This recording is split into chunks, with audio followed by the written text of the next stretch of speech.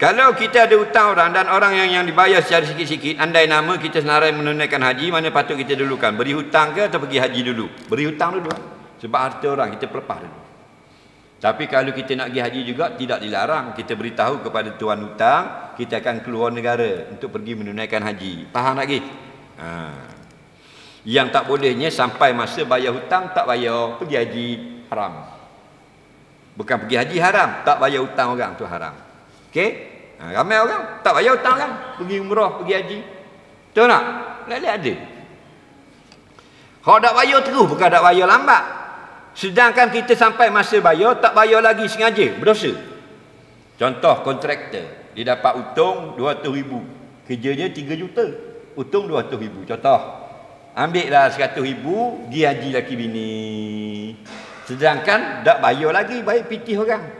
Dia ambil barang dia buat kerja itu dia ambil dengan hardware 80 ribu ini tak bayar. Faham? Waktu perjanjian bayar sudah lepas, bulan lepas dah. Dia tak bayar. Faham? Dia pergi haji berdosa. Ha, nampak? Kenapa? Kerana waktu wajib bayar hutang sudah lepas, tak bayar. Dia pergi ke Mekah. Molek-molek ada. Faham lagi nampak kan? Ha, dia nak mabro, malboro. Faham lagi? Kenapa? Kerana makan hati orang cara batin tu sengaja melewatkan. Padahal bayar balik haji. Dosa juga. Kenapa? Kerana wajib bayar hutang ialah pada hari yang dijanjikan. Dia ni sudah tiga bulan lewat. Tiga bulan berdosa. Dah tak bayar terus ada tak? Tak bayar terus telefon dah akak lah apalah. Begitulah begini. Senang sangat beli mesti baru. Betul tak? Telefon dah akak. Blok orang lah.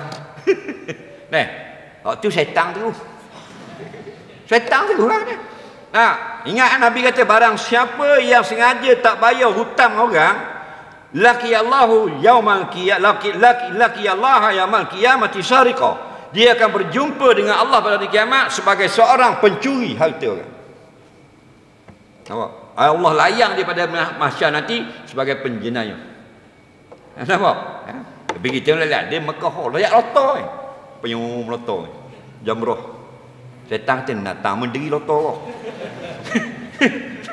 Sama diri lotor kok. Mu setan kok kapo? Apa mu lotor aku? thank you